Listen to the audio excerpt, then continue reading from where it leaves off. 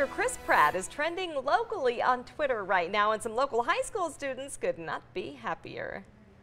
Hey guys, Chris Pratt here. Hope you're having a Jurassic time. Go Gators. I have a lot of time left. Hope you're having a Jurassic time. Go Gators. Homecoming, huh? That's so. How come no one no one invited me and wanted me to be their date? I guess uh, I guess I'm going alone.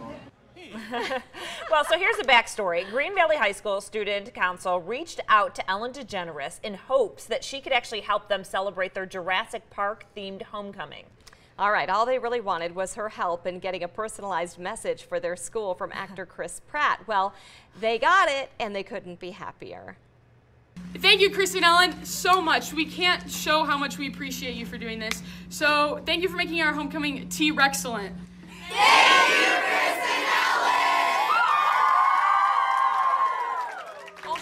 And she says, also, would you please be my date? Well, I was going to say, nobody's yeah. like saying, what, responding to him, his request to be asked. She did. That was Cass Newberry. She's a member of the student council at Green Valley High School. By the way, it's Green Valley High School Gators, just mm -hmm. for those of you who don't have high school students, you might not know that. Uh, Pratt has not responded to her date invite, mm-hmm. but he hey. did respond to the, you know, Jurassic homecoming theme. Sure. That's pretty cool. Really cool for the school. Exciting yeah. day for them. Mm -hmm.